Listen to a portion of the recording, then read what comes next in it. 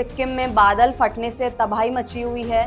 बता दें कि इस बाढ़ से सिक्किम के चार ज़िले, मंगन, गैंगटॉक, पांकयोग और नामची में बाढ़ से ज़्यादा नुकसान हुआ है। यहाँ बाईस हज़ार से ज़्यादा लोग प्रभावित हुए हैं। वहीं 2000 से ज़्यादा लोगों का रेस्क्यू भी किया गया है। इसके साथ ही यहाँ लोगों के लिए करीब 26 रिलीफ कैंप भी लगाए गए हैं। इन चार जिलों में पानी की पाइपलाइन, सीवेज लाइन और 250 से ज़्यादा घर टूट गए हैं और इसके साथ ही 11 ब्रिज भी तबाह हो गए हैं। बाढ़ के हालात देखते हुए शिक्षा विभाग ने 15 अक्टूबर तक सभी स्कूल बंद करने के निर्देश दिए हैं।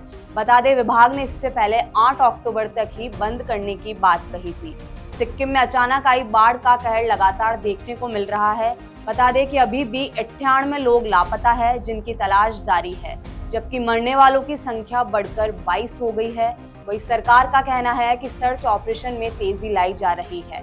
सिक्किम के मुख्य सचिव विजय भूषण पाठक ने बताया कि चेक पोस्ट के उपलब्ध आंकड़ों के अनुसार सिक्किम के लाचेन और लाचुंग में लगभग 3000 लोग अभी भी फंसे हुए हैं और इसी के साथ करीब 700 से 800 ड्राइवर भी वहाँ फंसे हुए हैं।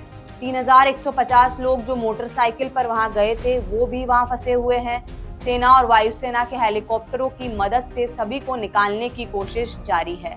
सेना ने लाचेन और लाचुंग में फंसे लोगों को इंटरनेट पर वॉइस कॉल के ज़रिए उनके परिवार वालों से बातचीत भी कराई है। राज्य सरकार ने इस घटना को आपदा घोषित किया है।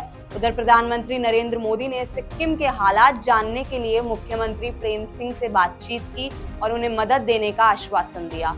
उम्मीद करते हैं कि सिक्किम में जल्द ही हालात ठीक हो और जो हज़ारों लोग बेघर हुए हैं, उन्हें अपना घर वापस मिले। बाकी देश और दुनिया की तमाम खबरों के लिए आप देखते रहिए द नगरी न्यूज़।